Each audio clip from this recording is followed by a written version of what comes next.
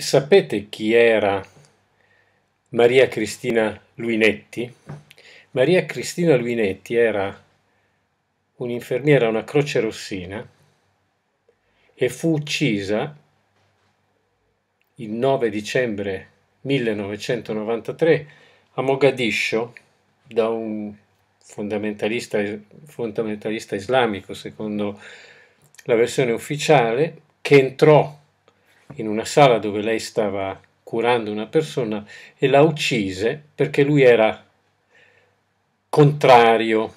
alla missione dell'ONU in Somalia, alla cosiddetta missione di pace dell'ONU, fa sempre delle cosiddette missioni di pace, poi ci sono spargimenti di sangue. Ma io vi, eh, vi dico questa cosa della, vi ho raccontato questa cosa della povera Luinetti,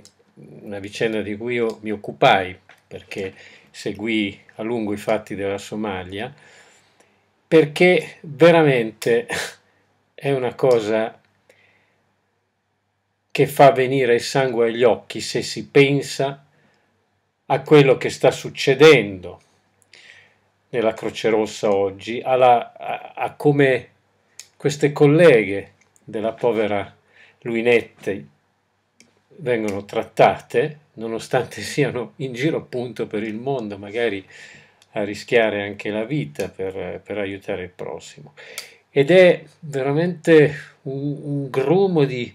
incavolatura, di, di, di, di indignazione fortissima, di rabbia, se si valuta la quantità di denaro che circola all'interno di, questo, di questa organizzazione, che circola e puff, molte volte non si sa dove, dove va a finire. No? Io continuo a ricevere documentazione, eh? ho ricevuto per esempio tutta una distinta di contributi Presidente Nazionale Croce Rossa. Ecco, questi sono finanziamenti per operazioni per, in giro per il mondo, dal Guatemala al Libano, all'Ecuador, eh, Honduras, Congo, Bielorussia, Laos, Cambogia, eh, spese di rappresentanza, qua parliamo di, di bah, diciamo sì, saremo intorno al milione, al milione di euro. Eh, sono degli esempi eh, di, di, di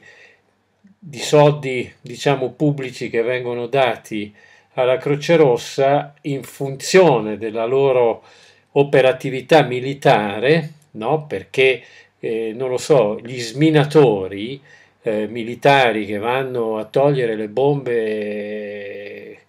a Sarajevo lo fanno solo se c'è la Croce Rossa militare insieme a loro. Però pare che in realtà questi soldi poi dopo finiscano invece nelle casse della Croce Rossa civile, vertici e bla bla bla bla bla bla. Ma questo è niente rispetto a questo documento. Questo documento è una roba pazzesca, pazzesca, guardate, è una cosa, qua, qua sono milioni, milioni di euro. Eh, mi è arrivata, eh, mi sembra questa a questa lettera, ecco questa lettera che ho stampato, ovviamente una mail che ho stampato. Buongiorno Marco, vabbè mi fai complimenti per il lavoro, ma questo è il mio lavoro di giornalista, che altro posso fare? E poi guardate che vedete, ci sono giornali che vengono dietro a questa cosa, ma è pure una cosa clamorosa, ma noi continuiamo, continuiamo, prima o poi, prima o poi succederà. Ecco, questo sergente, eh, che è protagonista peraltro di una bruttissima vicenda con dei risvolti umani anche faticosi eh, per le condizioni in cui è stato messo da, da tutte le faccende di cui abbiamo parlato, insomma, messe in atto dalla governance della Croce Rossa rispetto a chi si opponeva. Ecco, mi scrive questo, questo gentile militare. Ho un documento che è giunta l'ora che tu ne venga in possesso. Lo stesso documento una quantità enorme di denaro relativo a competenze stipendiati dovute al personale militare della Croce Rossa, ammontanti a centinaia, migliaia di euro, di migliaia di euro, in realtà molti di più. Il documento mi è stato recapitato privo di intestazioni per non risalire all'ufficio competente, ma è un foglio di calcolo dove sono indicati i nominativi e i parametri che non possono essere a conoscenza di nessuno, eccetera, eccetera. I calcoli, e questa è una roba veramente fantastica, i calcoli si riferiscono a tutto il personale del corpo militare CRI che non è a conoscenza di quanto di sua competenza, cioè questi non sapevano che dovevano, eh, che eh, dovevano prendere questo denaro. E, e, prosegue il mio interlocutore, una bomba che nel 2016 presentavo alla Procura della Repubblica di Roma, venivo sentito anche dalla Guardia di Finanza, ma tutto è stato insabbiato.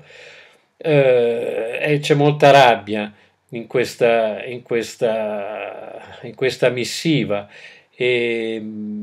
veniva richiesto subdoli, subdolamente nel sito web della Croce Rossa, senza inviare una comunicazione diretta ad ognuno degli interessati, di presentare domanda per avere eventuali somme spettandogli, ma tutto si è fermato, eh, ma tutto si è fermato lì.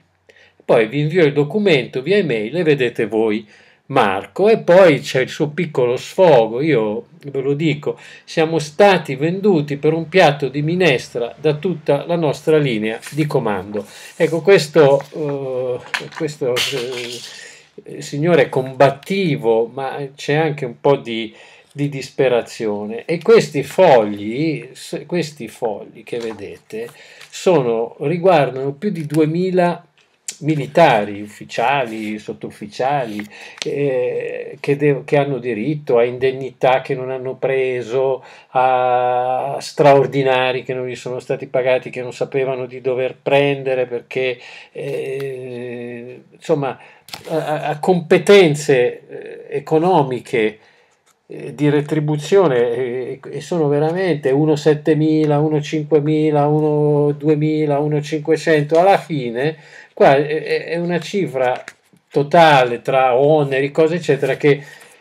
sfiora i 14 milioni di euro, anzi che supera i 14 milioni di euro. È, è vera questa storia, lui dice che aveva già presentato una, una denuncia che poi mm, è finito in una bolla di sapone, però vi rendete conto di, di, della gravità di questa cosa, della necessità di accertare quantomeno se sia vero, cioè io vi riferisco delle cose che, che mi vengono comunicate, ovviamente faccio un minimo di verifica perché non è che no, magari prima o poi qualcuno per azzittirmi mi infila la polpetta avvelenata, la bufala, io ci casco, in 40 anni non ci sono mai cascato, ma questa volta magari ci casco e tutto eh, si vanifica. Quindi qualche interlocuzione eh, ce l'ho, e magari l'ho fatto anche vedere a qualcuno questo questa documentazione, ecco perché insomma io ho fatto un salto nella sedia quando l'ho vista. Eh, ragazzi, eh,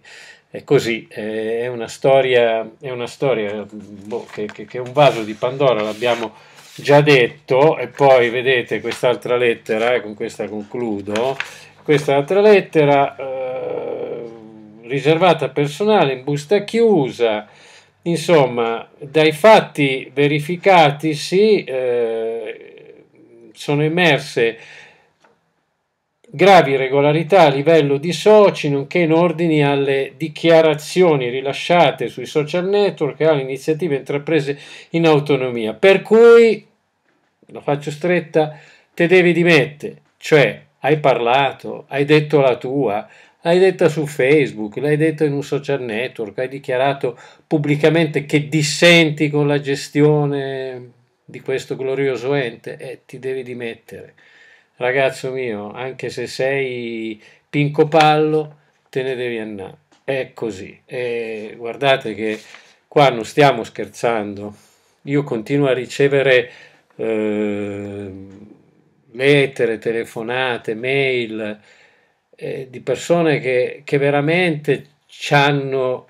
l'anima e il cuore dentro questa organizzazione, che sono state disposte a mettere in gioco la propria vita, che continuamente, nonostante gli scandali, nonostante le ruberie, nonostante tutto,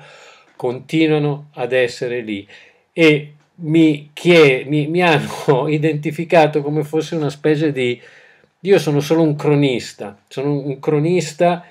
che appassionato, eh, nonostante non sia più un ragazzo, da 40 anni che faccio questo lavoro e lo faccio ancora con, eh, con l'intento di consumare la suola delle scarpe, con grande passione, sperando di essere utile agli altri con questo lavoro. Eh, ma mi fa anche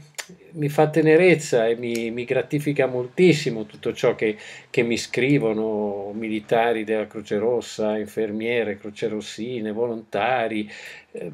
per quello che, che, che, sto facendo, ma io faccio soltanto il mio lavoro di cronista e mi dispiace veramente che eh, non venga